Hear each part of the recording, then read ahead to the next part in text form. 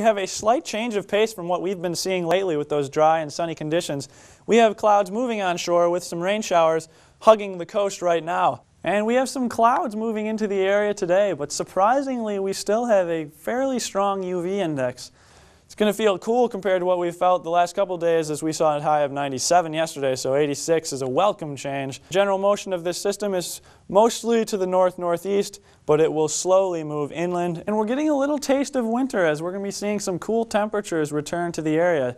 We've issued a frost advisory, and that's valid until 8 a.m. tomorrow for much of eastern Klamath County. Boy, did we have a windy day yesterday. Some heavier pockets of rain embedded in with the, within these light showers. What does it take to create thunderstorms in the atmosphere? So we have your high temperatures for today with temperatures getting into the mid to upper 90s. And we can take a look. We got those high temperatures, all right, check. Now we take a look at what else we need. We need moisture. Showers already in progress in the south coast and they will continue to linger into the afternoon. Temperatures scale back down to the upper 90s next week, but that's something. That's something. Not much, but I guess we have to take what we can get. Your golf forecast for today, you can see the morning is going to be down near in the low 60s, around 63 degrees. The sun will be out, but we might have some dew on the fairways that should burn off by around the 11 o'clock, 12 o'clock hour as temperatures get up near 82 degrees. We're going to be seeing rain for first time in a few weeks. All the details coming up after the break. Good morning, I'm meteorologist Austin Gibbons. You can see we had a very warm day yesterday, reaching a high temperature around 97 degrees. Still well below that record of 104 degrees. We're going to be seeing some changes around here as we're going to see temperatures really begin to cool down. Here's our weather maker for the next two days. We have a very substantial system off the coast. We have a cold front still about 300 miles off the coast, but we have the remnants of former tropical storm Ignacio beginning to move in front to the north of the cold front. This will begin to push the moisture inland and we'll be seeing light rain showers throughout most of the region, Northern California and Southern Oregon today. Now, as we take a look at what we're seeing temperature-wise right now, you can see mid to upper 50s throughout most of the area, with Medford and Redding the only ones moving into the mid 60s. Now, as we take a look at the south, or the zooming in on the northwest satellite radar, you can see we have some embedded heavier showers within. For, for the most part, it's going to be light rain showers throughout the region, but you could become impacted by one of these heavier showers. If so, it will be brief, but they have the potential to bring some heavy downpours.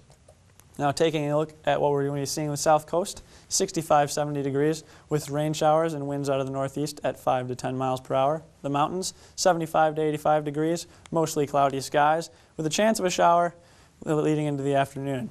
80 to 85 degrees in the Klamath Basin, we're going to be seeing partly cloudy skies through most of the day in the Klamath Basin with a chance of showers, but we'll likely be seeing the showers begin to dissipate as they move further inland and possibly not impact the Klamath Basin as much as what we'll be seeing in the regions further to the west. Northern California, 80 to 90 degrees, slightly warmer, mostly cloudy skies with a chance of a shower. Grants Pass, 86 degrees, mostly cloudy skies, again, chance of a shower. The winds out of the northwest at 5 to 15 miles per hour.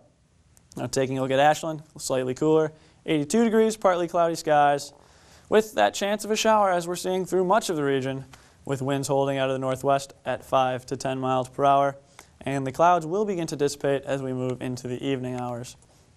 Taking a look at Medford, 86 degrees, with winds out of the northwest, 5 to 10 miles per hour. Again, the showers will be present through most of the day. We won't be able to shake them, but we'll have substantial cloud cover through most of the day. Now taking a look at what we're going to be seeing tonight, we're going to see temperatures cool off into the mid-50s throughout most of the region. You can see down in Northern California, Mount Shasta, around 49 degrees.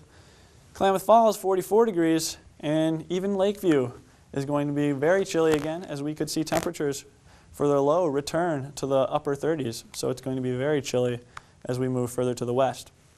Now taking a look at the seven-day forecast, the coast will be holding steady with temperatures in the mid to upper 60s. Today showers will be present, but as we move into the weekend, the sun and partly cloudy skies will return and we'll have fairly pleasant weather with temperatures ranging from 66 to 68 degrees.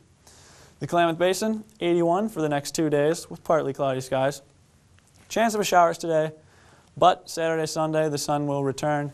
And by Monday through Wednesday, we're going to have gorgeous weather with mostly sunny skies and 84 degrees.